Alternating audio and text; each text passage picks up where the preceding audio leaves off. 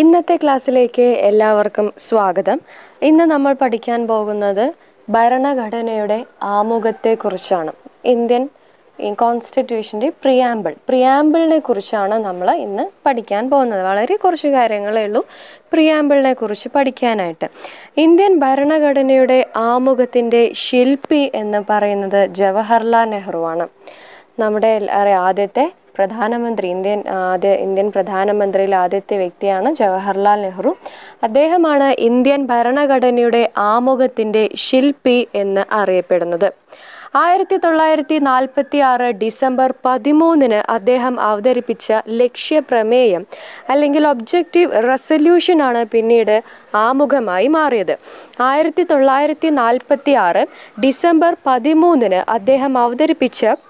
ലക്ഷ്യപ്രമേയം അല്ലെങ്കിൽ ഒബ്ജക്റ്റീവ് റെസല്യൂഷനാണ് പിന്നീട് ഭരണഘടനയുടെ ആമുഖമായി മാറിയത്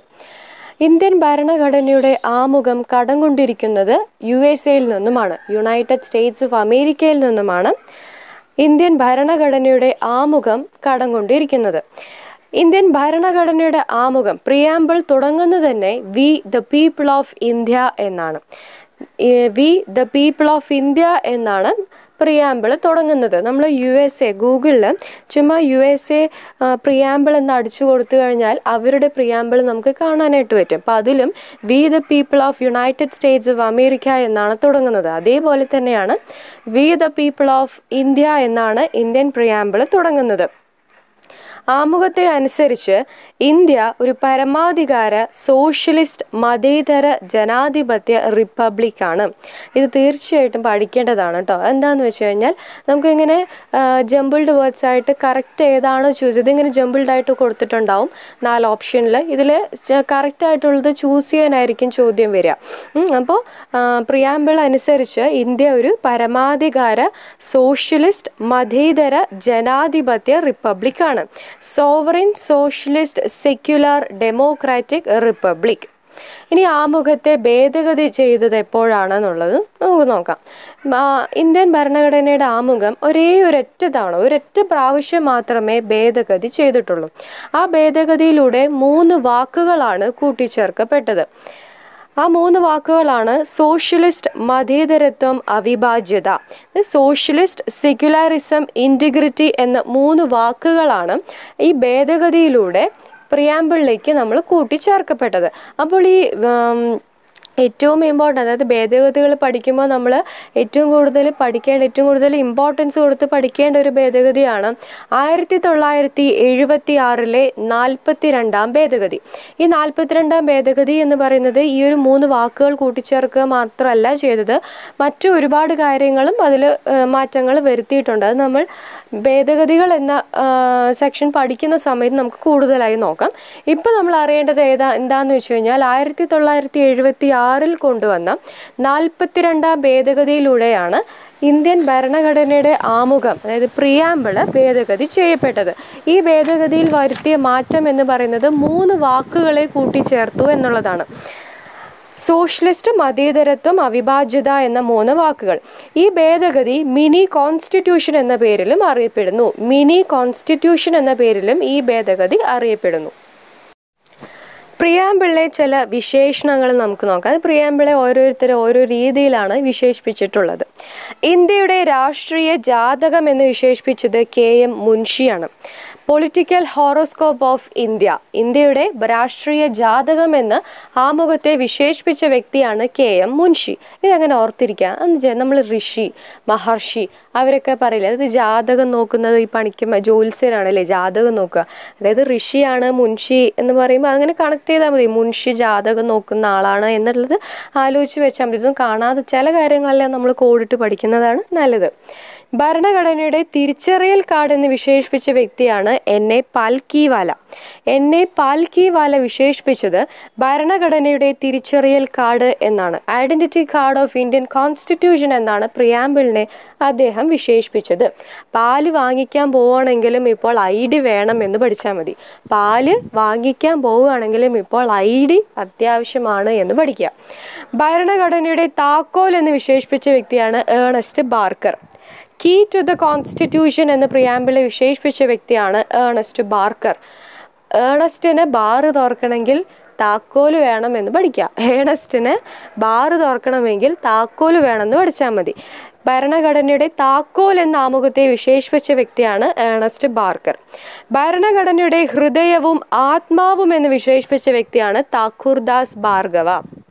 ഭരണഘടനയുടെ